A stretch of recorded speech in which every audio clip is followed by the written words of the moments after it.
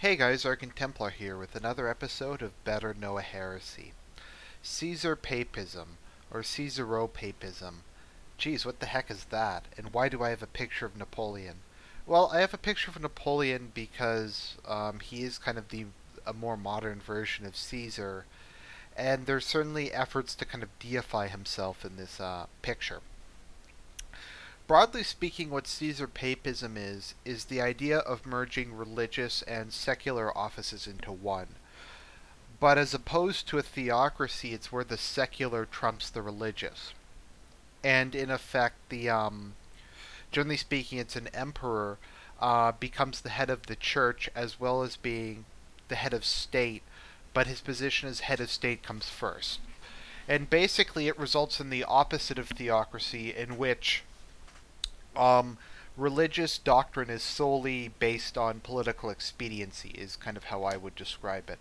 Uh, this is in particular a very common era error in the um, the modern era, is what I was trying to say, uh, where a lot of people seem to think that um, government should have authority over religious institutions and should be able to force them to do things. Uh, the issue of gay marriage is probably the most notable example, where there's ongoing debate about whether or not the government will eventually just force religious institutions to provide them uh, or um, throw them into jail. So yeah, so basically it's just um, the king is deified, but the um, the secular role comes first, um, as opposed to yeah, like I said, theocracies, because there were theocracies throughout the Middle Ages uh, generally speaking, though, the religious side kind of came first because they were not called um, like a duke or something. They were called prince archbishop or just archbishop or, or something to that effect. And their clerical title was the one of prominence. Um, it's kind of interesting, though, because um, even though there were a number of theocracies, uh, broadly speaking, they never really were Caesar papist in their orientation as generally speaking, the um, there was a certain separation of duties. Um, the archbishops ruled their lands in a um, kind of a secular ruler fashion, and the uh, they also were uh, clergy in a religious fashion, and there was certainly a little bit of intermingling between the two rules.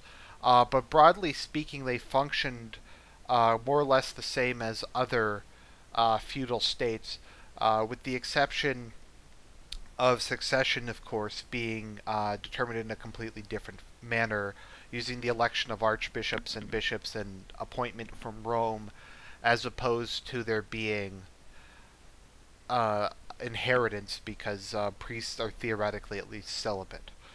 So this was very common, particularly in Eastern Europe, uh, where Peter the Great um, took most of the Orthodox Church's property, largely ended their independence. I think he repressed the patriarchy and um, just wholly subjugated the Orthodox Church to his will. Uh, this was also fairly common during the Byzantine Empire, in which the emperor, I believe, had the authority to appoint the Patriarch of Constantinople. Um, and it's just it's it's fairly common in Orthodox Christianity, just because in Orthodox Christianity, uh, they do hold the principle that the king is theoretically the head of uh, the church. Uh, granted, that's more supposed to be a protector of the church role than kind of the secular overlord of the church, but it's not it's not as hard uh, because each church is national instead of international for the king to merely usurp the role of the church and merge it into his own innate role.